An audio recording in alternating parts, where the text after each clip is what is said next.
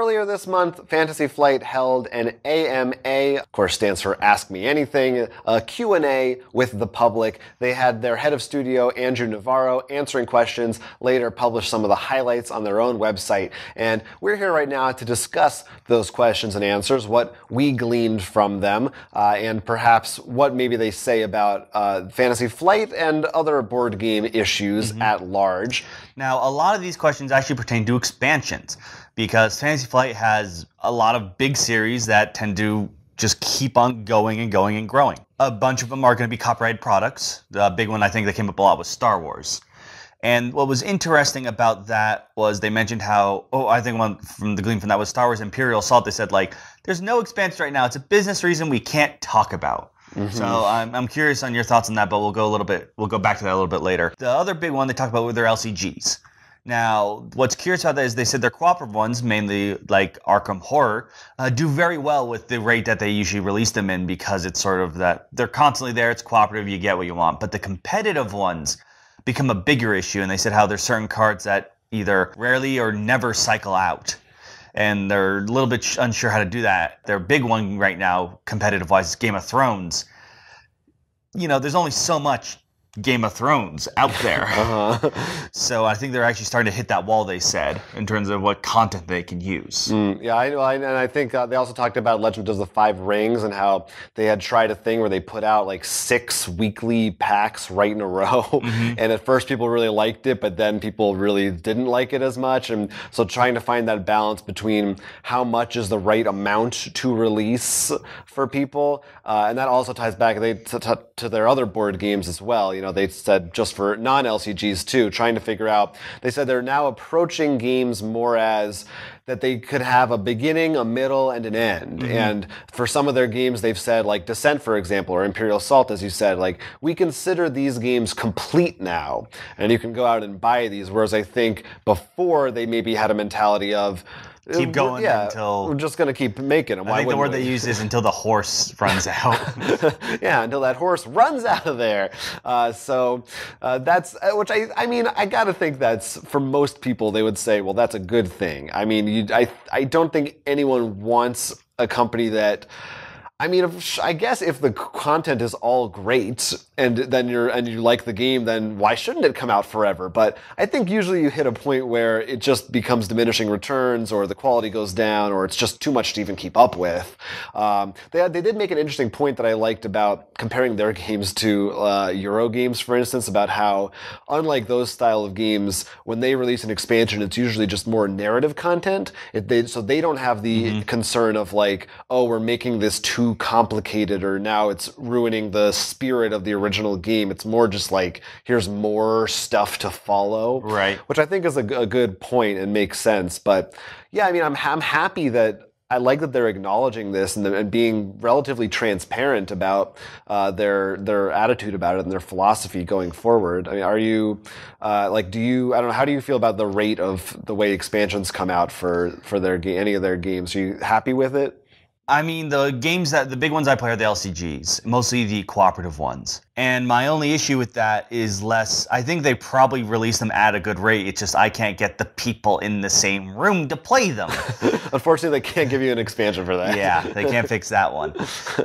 But and I think that it- definitely for the cooperative games because like Arkham Horror, if we're playing, like who cares if there's a powerful card or something that was in a pack maybe I missed of. You know, you're just mm-hmm. having fun going through the story, so it feels more like a new episode being added to it. So that way, the narrative, as you said earlier, that's what really the juicy part that you care about. Mm-hmm. is. right. But like for something like the Game of Thrones or the Legend of the Five Rings, that I think more comparable to Magic. And what they do is they try to rotate sets out. So they're not even going to print this set anymore. Mm-hmm. But because of the way we think of board games and stuff, you're never going to be like, oh, they're not going to print that chapter pack anymore. Especially for something like Game of Thrones, or let's take Star Wars or something like, how would you feel if you're like, oh, let's get the Star Wars game? Oh, the Luke Skywalker card's out of print. Yeah, that's pretty bad.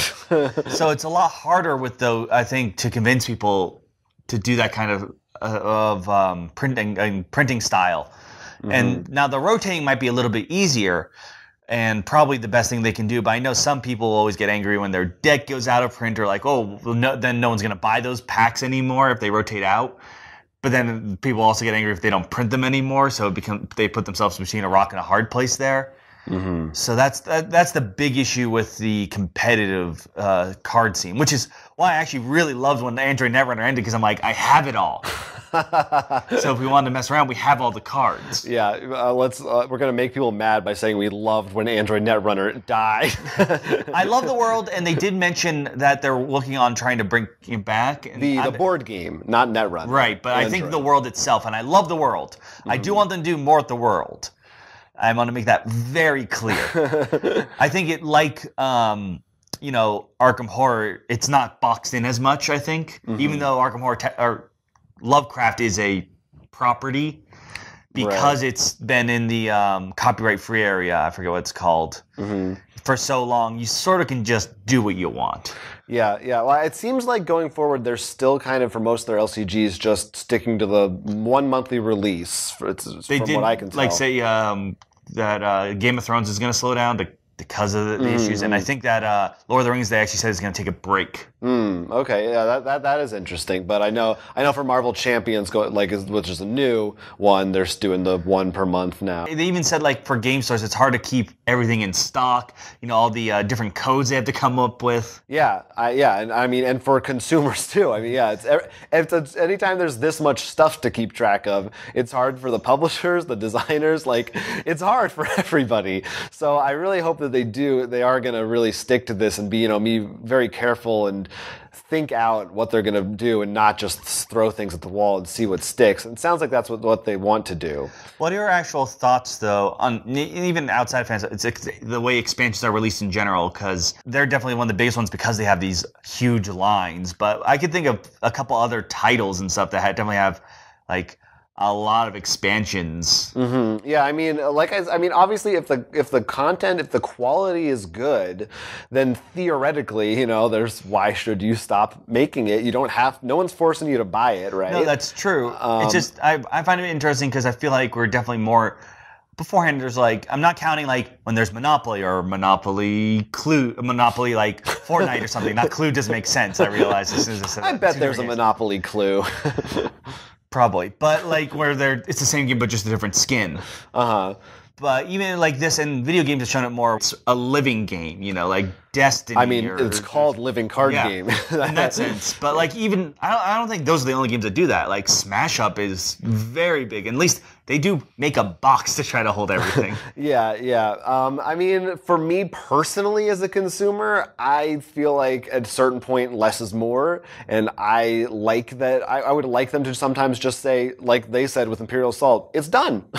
Here's everything. You can take what you want." Um, so I can't. It's a hard thing because I can't fault the companies too much. Like if they sell, they should make them. But there's definitely a point of where you risk fatigue also on the part of consumers, where you can only take so many Smash Up expansions, so many, you know, Sentinels, Sentinels of the Multiverse. They ended it. Um, I think BattleCon has a ton of stuff like this final uh, expansion coming up. I think they're closing that off as well. Big issue though is all the ones you mentioned are original properties. Mm-hmm. What do you do though with Star Wars or like the Power Rangers that just started their Kickstarter? It never game, ends. That's what you do.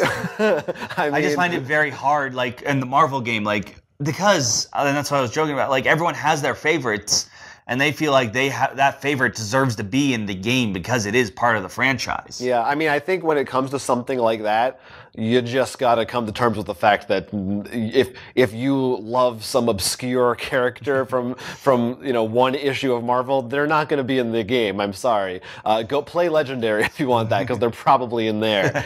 but uh, when it comes to monthly releases, uh, yeah, probably they're just going to do the big guns. Uh, and, and you know something like Star Wars, I think you have a little more wiggle room because they're uh, Really? is I, I well I think you have more wiggle room in terms of there aren't as many core characters. Oh, okay. Marvel has literally hundred like dozens of titles with giant. Right. Star Wars, there's like a dozen like big characters and there's a lot of obscure characters so you can please more people that way in Mm-hmm. those areas um, and even game of thrones i think sort of the same thing a little bit Well, that one they actually have used Right, that's their problem. They went through as much as they possibly Well, and could. then I'm curious on your thoughts on like I believe Lord of the Rings Mm-hmm. that they've actually made up a lot of characters. I think also partly because There's not that diversity many- reasons, like oh. you know, like I know in the course that we're like, who are these female characters? Because it's Right. like there's like what two named ones in the actual books. Right, yeah, stuff like that is definitely that's another interesting one, Journeys into Middle Earth, that recently came out because they also just put out a little. I don't know, if I it was an interesting AMA. I think people should take a look at. it. There are also some other stuff they talked about too, like um, like you said, the thing about Imperial Assault. I don't know what those legal issues could possibly be. Or they said they might come out with. Uh, someone asked if they would come out with a Mo- Marvel board games, and the response was, "It depends on what you consider a board game." I thought that meant you referring to the Miniatures game that they're working with someone else. I guess, but it seemed like very cryptic and a weird answer to give. Um, you know, that's maybe that's why the Imperial Assault they're making Marvel Assault. maybe, I, yeah, I don't know, but so there's some cool tidbits in there. But yeah, in general, it sounds like they have a good path forward, and certainly, I don't think they're going anywhere. I think Fantasy Flight, uh, I would consider them still pretty much the top of the heap in terms of uh, pu- publishers for both you know name recognition and the brands that they have that have so much power. You mean Asmodee? Yeah, yeah. Well, you know, it's, it's all relative. Um, yes, but uh, we'll see what they do. And of course, we also talked about recently AEG limiting their not expansions but new releases. So it seems like in general, more companies are being more mindful in this world of how do we release things that are significant that don't get lost in the shuffle of the thousands of games every year. Um, talk to us in the comments. Let us know what you think about all of this. There's a lot to chew on. Uh, are you part of any Fantasy Flight's huge lines, and do you have the entire collection, or you just pick and choose a couple, either uh, LCG packs or maybe uh, Imperial Assault or X-wing expansion? We didn't even touch on X-wing. yeah, that's a whole other ball of wax. Uh, let us know. Uh, until next time, I'm Jonathan. I'm Will. this was Roll for Crit. Support our Patreon, like this video, and subscribe to our channel so you don't miss a thing. Watch more of our content now to hold back Cthulhu's madness.